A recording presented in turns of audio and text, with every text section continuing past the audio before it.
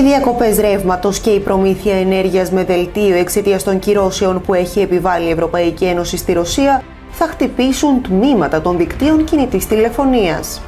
Αυτό σύμφωνα με το πρακτορείο Reuters μπορεί να επιφέρει blackout στις επικοινωνίες της Ευρώπης. Οι αξιωματούχοι της βιομηχανίας τηλεπικοινωνιών αναφέρουν ότι φοβούνται πως ένας βαρύς χειμώνας θα βάλει σε δοκιμασία τις υποδομές τηλεπικοινωνιών της Ευρώπης, αναγκάζοντας τις εταιρείες και τις κυβερνήσεις να προσπαθήσουν να μετριάσουν τον αντίκτυπο. Μέχρι στιγμής δεν υπάρχουν πολλά συστήματα υποστήριξης σε αρκετές ευρωπαϊκές χώρες που να μπορούν να χειριστούν εκτεταμένες διακοπές ρεύματος, αυξάνοντας έτσι την πιθανότητα για blackout και στα κινητά τηλέφωνα. Οι χώρες της Ευρωπαϊκής Ένωσης συμπεριλαμβανομένης της Γαλλίας, της Σουηδίας και της Γερμανίας προσπαθούν να διασφαλίσουν ότι οι επικοινωνίες μπορούν να συνεχιστούν, ακόμη και αν οι διακοπές ρεύματος καταλήξουν να εξαντλήσουν τις εφεδρικές μπαταρίες.